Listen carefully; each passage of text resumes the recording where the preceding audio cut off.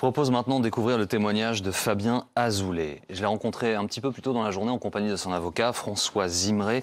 Fabien Azoulay était parti en 2017 en Turquie pour se faire implanter les cheveux.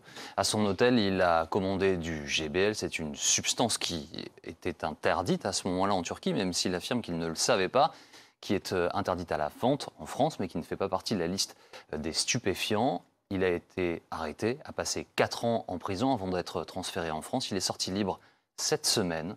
C'est donc une prise de parole importante. Fabien Zoulé, François Zimré. C'est un entretien qui a été euh, capté par Hortense Gérard, Morgane Dumont, Vincent Gauthier, Mathéo Luxero avec Baptiste Besson, Emmanuel Abron. Bonjour Fabien Zoulé. Bonjour. Bonjour Maître François Zimré. Bonjour. Merci d'avoir accepté de répondre à, à mes questions. Vous êtes libre depuis trois jours. Trois jours après avoir passé quatre ans en prison. Comment est-ce que vous vous sentez aujourd'hui? Beaucoup mieux. Beaucoup mieux qu'à mon, incarcération, que pendant ces, ces quatre ans. Euh, soulagé, heureux d'être avec mes proches, ma famille, mes amis, d'avoir revu mes avocats euh, en dehors de la prison. Et Vous réalisez, ça y est? Pas, pas complètement en fait. Pas complètement. C'est encore un atterrissage en douceur. On est encore sur le tarmac. Je peux vous demander ce que vous avez fait en premier quand vous êtes arrivé? Mon frère est venu me chercher à la, à la santé, à la prison de la santé. J'étais le dernier à sortir, ce qui était un peu, un peu lourd, quoi, parce que je, pensais, je pensais sortir dans les premiers, mais c'était le dernier des derniers. Et on a été prendre un café euh, avec une de mes avocats, avec un de mes avocats, et mon frère. Et c'était euh, génial quoi, de voir. J'avais un côté la Statue de la Liberté, de l'autre la, la Tour Eiffel. Donc moi qui suis franco-américain, de voir un côté de New York et de Paris en même temps, c'était assez symbolique. Donc j'ai beaucoup, j'ai beaucoup aimé. Et puis de, de- juste de m'asseoir à la terrasse d'un café avec un vrai café, une cigarette, très français. euh, c'était, euh, c'était assez euh, euh, bah, émotionnel euh, de, de faire ça après tant d'années. Des, des- des- des gestes simples qui paraissent à tout le monde euh, évidents ou quotidiens. Bah, pour moi, c'était un, c'était un, un cadeau. Alors vous avez été libéré après euh, avoir été transféré en France au, mois d'août. Quand est-ce que vous avez appris avec certitude que votre client serait libéré? J'ai pris confiance euh, parce que je connais le fonctionnement de l'administration et de l'État pour avoir été ambassadeur moi-même. J'ai repris confiance euh, quand l'Élysée a publié un communiqué euh, selon lequel le président Macron en avait parlé au président Erdogan et qu'on allait avancer sur la voie du transfèrement que nous avions demandé. Euh, Vous vous rendez en Turquie pour une opération euh, esthétique, c'est ça hein C'est pour euh, un plan capillaire. Voilà. Qu'est-ce qui s'est passé? Vous avez commandé du GBL, c'est ça, sur un site internet. Pourquoi est-ce que vous avez commandé du GBL déjà? Pour m'amuser. J'ai lu, entendu beaucoup de choses sur la quantité que vous aviez achetée et qui d'ailleurs été ça au vient par des- bidon de 2 litres Oui, minimum. c'est c'est ça, c'était la, quantité, la quantité minimum de, de, de commandes. Et il faut comprendre que, pardon de, de- interrompre, c'est que jusqu'au euh, 4 juillet 2016, ce produit était autorisé en Turquie. Et Fabien ignorait totalement qu'il était devenu interdit à ce moment-là. Mais la police me l'a quand même rappelé, après m'avoir demandé euh, si j'étais gay, euh, m'a quand même rappelé que après, si j'avais été arrêté avant le 4 juillet 2016, si j'avais été pris avant le 4 ju- juillet 2016, je n'aurais jamais été incarcéré. Alors, vous êtes à, à- à l'hôtel en, Oui. en Turquie. J'arrive j'arrive à mon hôtel. Vous aviez fait la commande avant d'arriver. Oui, bah oui. Vous avez fait livrer ce, ce Sur colis. Inter- sur Internet. Il arrive à la réception. Comment ça se passe concrètement à ce moment-là? Eh bien, je- j'a- donc la réceptionniste m'annonce que le- courrier avait été suivi, le paquet avait été suivi. J'avais demandé à la réceptionniste de, de- de suivre ce, co- ce- ce colis.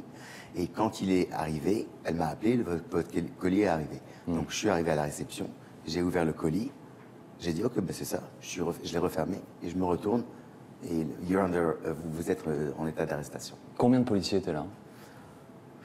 Il y avait quatre ou cinq policiers. Donc, ce qui veut dire que votre achat a été tracé.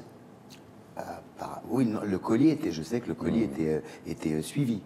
Donc, mais je ne savais pas que, enfin, que ça a été, euh, que ça avait été euh, tracé par la police. Je savais que ça avait été tracé par, euh, enfin, euh, tra- traqué par les, euh, par les, euh, les services de, de po- po- postaux. Ouais.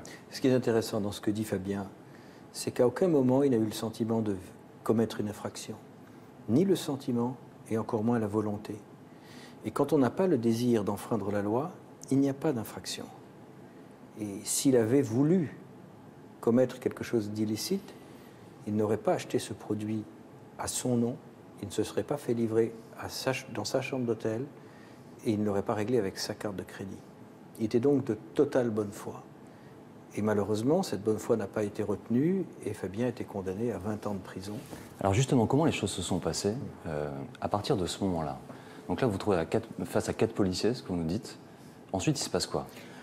Ils m'emmènent dans un fourgon de, police avec euh, les menottes euh, derrière. Enfin, ils étaient euh, dans un fourgon de poulet. J'étais derrière avec des, barreaux. Et ils m'emmènent à l'aéroport. Je ne sais pas pourquoi. Il y avait un- une, station de police dans l'aéroport. Et ils commencent à me questionner, à me dire You, you, you dealer. Et je dis non. De, tourist, I'm a tourist. Je, je suis un, un touriste. Et euh, ils essayent de me faire parler en fait. Et je n'ai pas le droit, je suis mis en garde à vue la- la- le, la- le même soir, Ouais. mais je n'ai pas le droit d'appeler mon père et ma famille jusqu'à un jour après. Donc ce qui veut dire que jusqu'à 48 heures après votre interpellation, personne n'est au courant que vous 24 avez heures, 24 pardon. heures, personne ne 24 sait que vous n'avez été arrêté. Mon, mon père l'a su le lendemain soir. Euh, C'était un appel d'une minute, et quand je dis une minute, ça veut dire 60 secondes. Top chrono. Donc j'ai appelé mon père, qui a appelé mon frère, qui a appelé l'am- l'ambassade, le consulat de France, qui m'a euh, recommandé un avocat, Mhm. franco-turc, qui n'a servi strictement à rien, comme la flopée d'avocats que j'ai eu successivement en Turquie. Mes avocats en France ont fait un, un travail fantastique, mais ceux en Turquie n'ont servi à rien. Si je reprends le fil de votre histoire, donc 24 heures après être arrivé euh, dans ce poste de, de police, vous pouvez appeler votre père qui appelle le consulat. Il se passe quoi ensuite? Il y a, je suis vu en compa- comparution immédiate euh, au tribunal d'Istanbul Avec votre avocat franco-turc? Avec l'avocat franco-turc qui, qui, qui m'attendait au tribunal, qui s'est... Elle, elle a, je lui ai parlé en tout et pour tout pour 5-10 minutes avant l'audience. Ouais. Donc, elle ne savait même pas ce que c'était le GBL. Le juge ne savait même pas ce que c'était le GBL. Vous, vous comprenez ce que dit le juge? Bah, pas du tout. Pas du tout. Donc quand est-ce que vous comprenez ce qu'il est en train de dire? Quand est-ce que vous comprenez qu'il est en train de... Plusieurs, plusieurs semaines après, on, a changé d'avocate. Ouais. Parce qu'apparemment, l'avocate a juste plaidé en disant Mon client est innocent. C'est tout. Donc là, cette audience, elle dure quoi? Un quart d'heure, c'est ça? C'est- celle-ci, euh, même pas. euh, Cinq minutes Donc il y a une demande de, de peine? D'abord, elle a dit libérer mon client, il, est, Mmh. il est innocent. Le juge, de, le juge des paix, je crois, a dit euh, de 20 à 30 ans de réclusion. Donc ça, je ne l'ai pas su au début. Je l'ai su plusieurs semaines après. Qu'est-ce qui se passe ensuite après cette audience Ben, Je suis en- emmené directement en prison. Au même endroit que... À Maltépé, non, non. Vous En- partez directement en prison. Oui, à Maltépé. Voilà, où je découvre un univers complètement surréel, enfin un, film de, de- de- un mauvais film de, de- policier. Euh, je suis emmené dans une cellule de 50 à 60 euh, personnes avec tout crime confondu. C'est grand comment? Ça ressemble à quoi?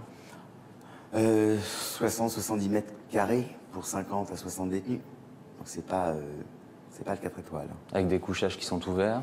Euh, Il y a un grand salon, il y a un, un grand salon avec euh, des matelas partout, et il y a quelques cabines avec des lits superposés.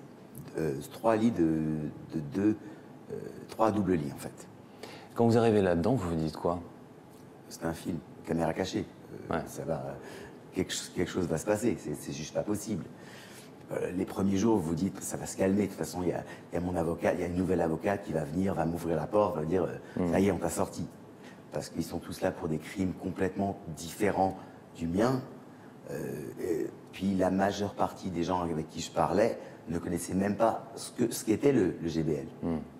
vous, vous aviez, j'imagine, préparé votre défense. Vous aviez eu le temps d'accéder à des éléments. Bien sûr. Qu'est-ce qui s'est passé? Bah, euh, je sais pas. Je, je sais pas. Je sais pas ce qui a conduit le juge à me donner 20 ans. Alors, il m'a quand même donné pour, pour sa défense une réduction d'un sixième de ma peine pour bon comportement à l'audience. Donc, on est passé de 20 ans à 16 ans et 8 mois. Comment est-ce qu'il a motivé cette décision? Je ne parle pas turc, donc le, le- Et ça ne vous a pas été traduit une nouvelle fois ça- ça- on ne m'a pas traduit, on ne m'a pas, traduit ce que le juge m'a dit. On me traduisait ce que je disais au, juge par l'intermédiaire du, traducteur, mais ce que le juge me disait n'était pas traduit, jusqu'à ce que j'ai le compte rendu de l'audience qui m'a été traduit ensuite par des co-détenus ou par mon avocat qui est venu m'expliquer euh, qu'on allait faire appel et que de toute façon les appels. Mais juste pour que nos téléspectateurs visualisent la scène, c'est-à-dire que vous êtes dans cette cour, dans ce tribunal, euh, il y a une sentence qui est prononcée, vous ne la comprenez pas. Est-ce qu'à ce, moment-là, votre avocate se penche vers vous, vous dit une information, quelqu'un vous parle d'une durée de prison Ou est-ce que vous sortez de cette pièce sans savoir Je vais vous expliquer. En Turquie, l'avocate n'a pas le droit de vous voir avant ou après l'audience à la cour de justice. Ce qui s'est passé dans mon cas, c'est que la traductrice commençait à pleurer. Me suis retourné sur mon frère, parce que mon frère était dans, l'audience. Je me suis retourné sur, mon frère en, incompréhension. et, quand ils m'ont ramené dans la cellule d'attente, en fait, la traductrice est venue me voir et me dit Vous avez été condamné.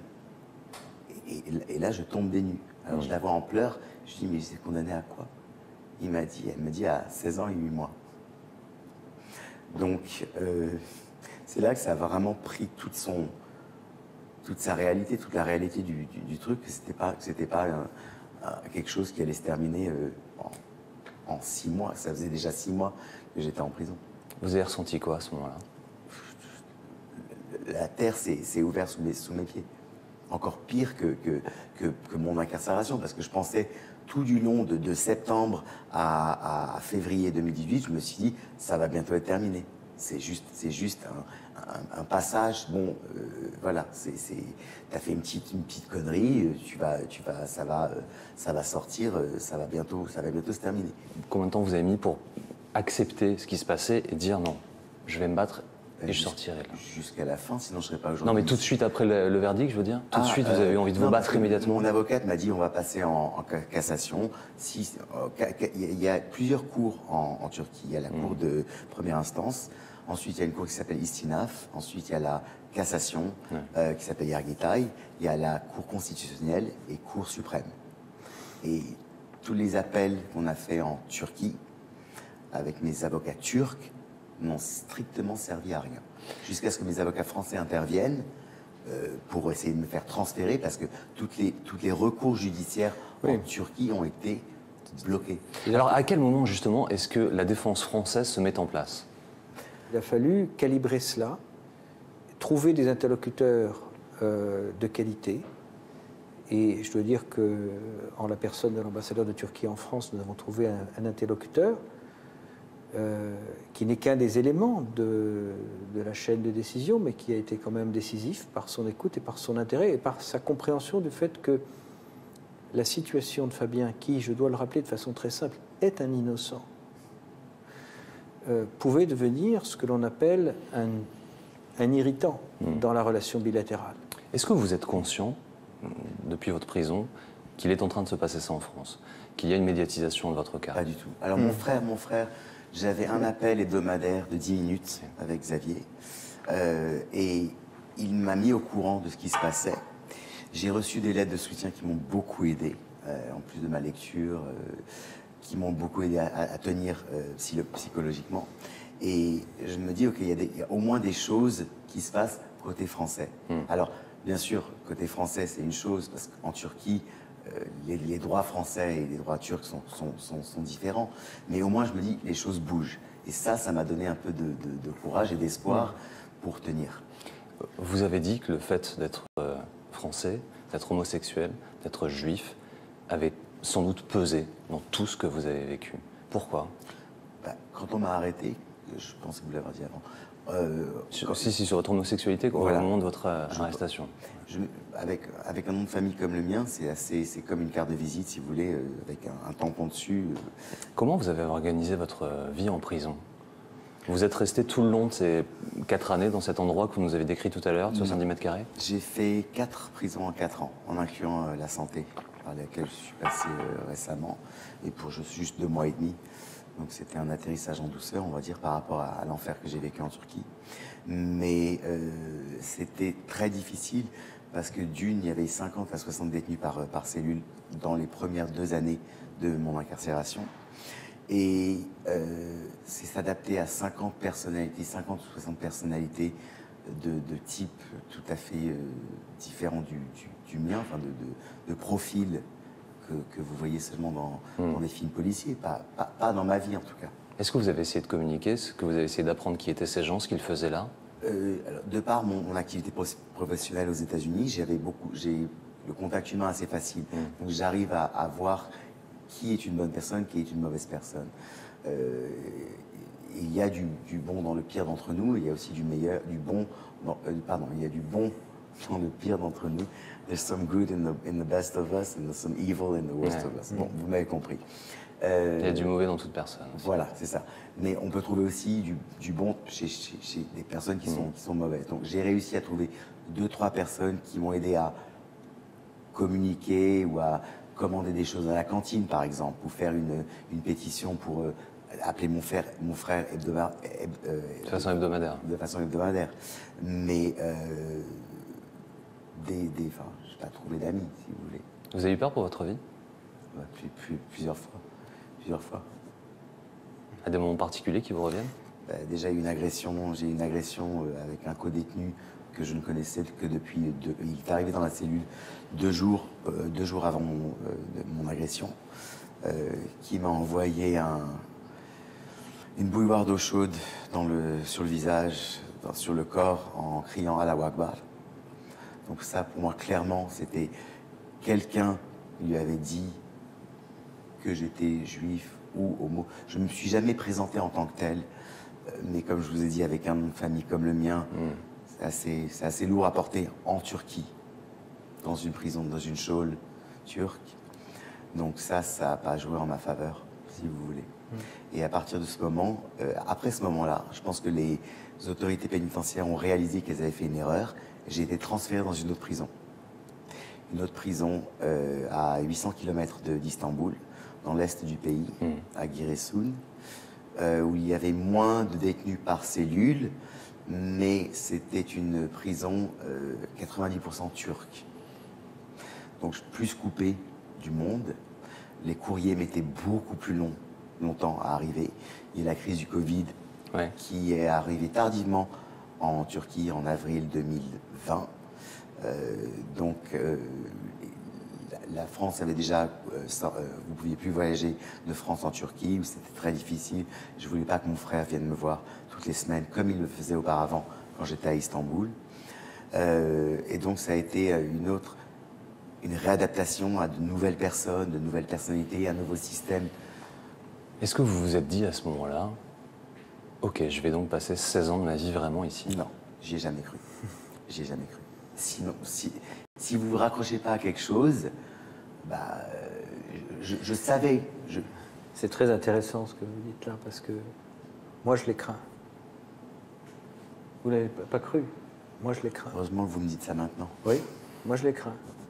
Je les crains quand je. À part je vous ai interrompu, mais, mais quand j'ai vu la, la, la- la- la dégradation de la relation franco-turque, je me suis dit, mais comment on peut obtenir un transfèrement? Il n'y a pas eu un transfèrement depuis 15-20 ans, peut-être, entre la Turquie et la France?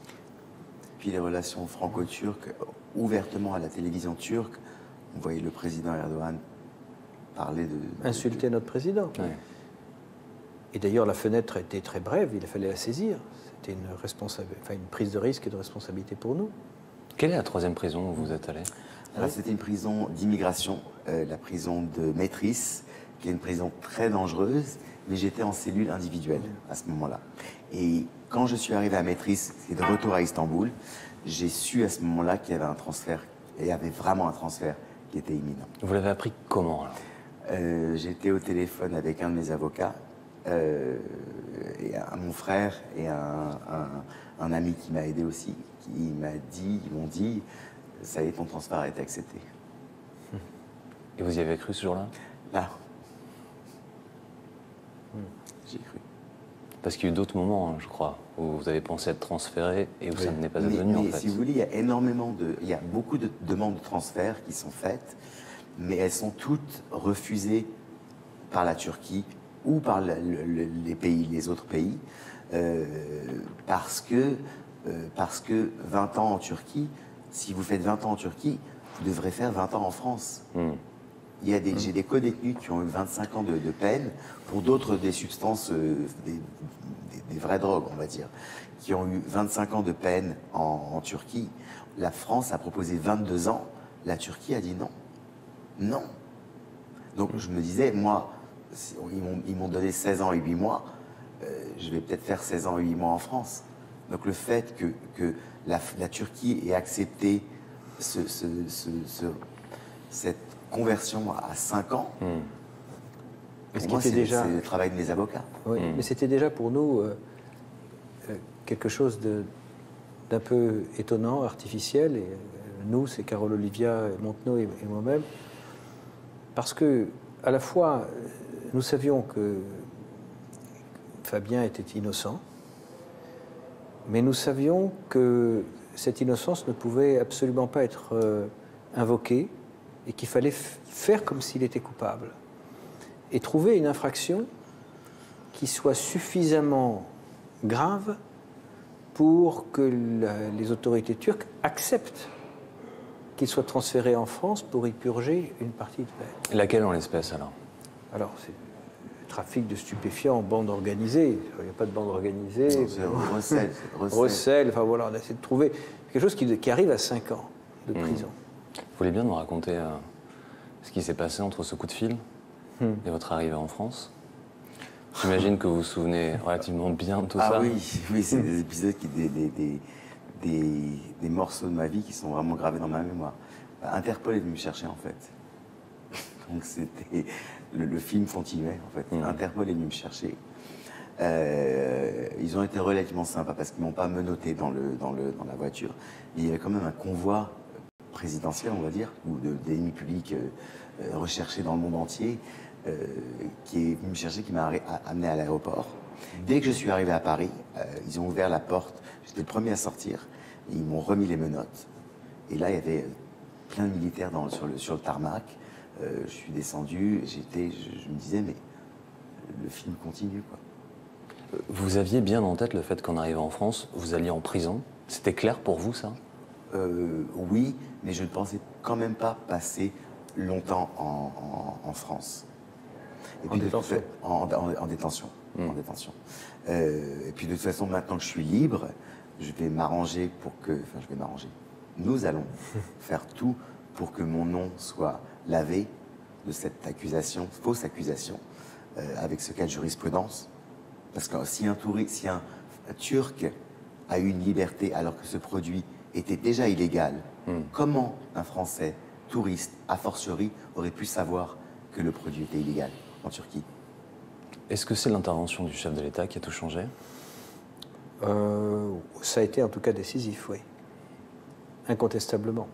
Est-ce qu'il vous a Mais cette appelé Vous l'avez eu au intervention, si vous téléphone, voulez, Fabien c'est Pas une chaîne. personnellement, Mais, C'est- mais euh, Oui, nous avons été en contact, mais c'est c'est une chaîne euh, dans laquelle euh, il y a euh, bien sûr euh, la famille, les soutiens de toujours, les amis, les avocats, la médiatisation, l'intérêt que les médias ont bien voulu porter au cas de, de Fabien, euh, puis euh, le fait de saisir l'agenda politique et le fait que le président de la République ait accepté d'en parler au président Erdogan, alors que des sujets entre la France et la Turquie, il y en avait d'autres. Mais, mais je veux dire que je suis très reconnaissant à tous ceux qui ont permis euh, de faire en sorte que le président de la République euh, considère cette situation et, et, et- et la- et l'aborde. Vous disiez, euh, nous allons nous battre désormais pour que ça n'arrive plus jamais, c'est-à-dire que vous allez mettre- lancer une procédure. Alors, je ne sais pas quelle forme procédurale, il faut qu'on parle avec Carole Olivias, mais la première chose, c'est que pour ça que je, je suis intervenu tout à l'heure, c'est de rappeler que Fabien est innocent. Il est dans cette situation un peu paradoxale qu'il faut accepter, qu'il est à la fois judiciairement coupable, mais réellement innocent. Est-ce que l'on pourra faire reconnaître judiciairement son innocence en Turquie? J'espère qu'un jour, oui. en France aussi. Euh, en France également, et il faudra le faire. Il y aura peut-être des voies de recours. Nous allons, euh, nous allons en parler, C'est- nous allons c'est- regarder. c'est- Excusez-moi de vous couper. Cette substance n'est pas un stupéfiant en France. Oui, oui. Elle est interdite à la vente, mais elle n'est pas Mais inscrite bien sur la sûr, liste en, France, j'ai- une substance vénéneuse, c'est même pas considéré comme un. euh, puis on parle de quoi? On parle de. Mais elle est interdite tout de même. hein. Oui, c'est c'est- l'importation est interdite c'est parce que c'est désormais considéré comme une substance vénéneuse, mais ça ne l'a pas toujours été. La vente est interdite. Et- et- Pas oui. l'achat. Je l'ai Et- acheté. et, et l'on et, on parle d'un produit qui est accessible sur les sites de, produits d'entretien pour voiture, qui est un nettoyant de jantes pour voiture, qui coûte 142,50 euros et qui, vient par bidon de litre. Donc on ne parle pas là de, de, de parettes de cannabis ou de stupéfiants ou de choses comme ça. Et, et c'est pour ça d'ailleurs que nous avons pu attirer l'attention des plus hautes autorités, parce que chacun sentait bien qu'il y avait quelque chose d'anormal, quelque chose n'allait pas dans ce dossier. Vous allez faire quoi maintenant, Fabien Azoulay? Bah, ça fait trois jours que je suis dehors, donc me reconstruire d'abord, essayer d'apprécier toutes les, toutes les petites choses de, le- de la vie, Euh, les, feuilles, euh, les feuilles de l'automne par exemple, Euh, le froid parisien. Et euh, bah, c'est une renaissance pour moi hein, aujourd'hui. Et à un moment ou à un autre, rentrer chez moi à New York. Et retourner en Turquie, en Turquie un jour? Euh, probablement pas, non. Merci beaucoup. Merci, à tous les deux de m'avoir accordé cet euh, entretien aujourd'hui pour BFM TV. Merci.